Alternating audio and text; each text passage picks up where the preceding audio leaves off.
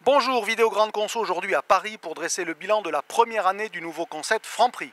Quelle part du réseau a été rénovée, pour quels résultats et quels sont les prochains développements? Les réponses, c'est tout de suite.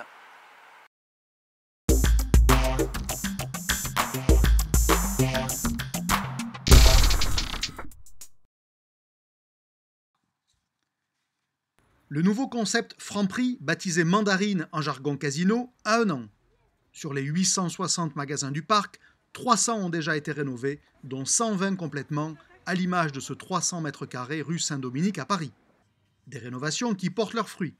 Lorsque le magasin est complètement revu, le chiffre s'envole de 20%, principalement sous l'effet du trafic.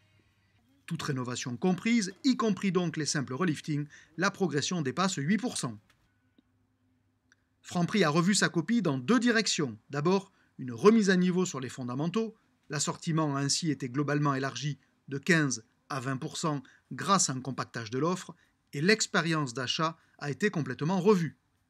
Le nouveau Franprix est plus moderne, souvent éclairé avec des spots et surtout beaucoup mieux tenu. En parallèle, Franprix a imaginé ce que l'enseigne appelle des tableaux, des aspérités à mi-chemin entre produits et services et qui sont présentés verticalement, d'où leur nom. Les trois incontournables sont le pain, la machine à jus d'orange et la rôtissoire, avec en vedette cette barquette comprenant deux cuisses de poulet rôti et des pommes de terre pour 3,90 euros. En nombre d'unités, c'est désormais la première vente de Franprix, devant le jus d'orange et la baguette à 99 centimes. Car pour en faire des marqueurs de son nouveau concept, Franprix a choisi pour ses tableaux des prix uniques dans tout le réseau. Mais au-delà, Franprix a imaginé 17 tableaux. Il y a par exemple les soupes avec Giraudet, qui sera prochainement remplacé par du gazpacho, le café qui est moulu sur place et en test dans le magasin rue de Montreuil, ou encore le yaourt glacé où le client remplit son pot et se sert librement des confiseries qui l'agrémentent. À chaque fois, Franprix entend faire de ses offres des éléments de préférence. Car suivant la voie de Monoprix, une autre enseigne de casino, Franprix espère devenir une enseigne affinitaire pour cultiver une autre forme de proximité avec ses clients. Autre chantier, l'encaissement.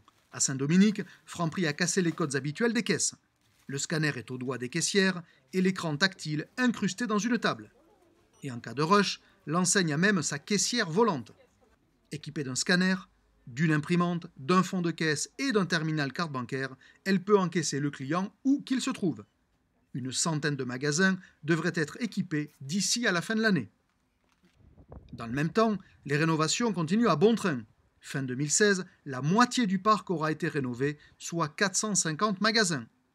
L'autre moitié est prévue pour 2017 ou début 2018. Tous les francs ne ressembleront certes pas à Saint-Dominique, dans le très chic 7e arrondissement, mais tous seront nettement au-dessus de ce qu'ils étaient, ce qui laisse entrevoir à l'enseigne une croissance quasi mécanique pour les deux ou trois prochaines années.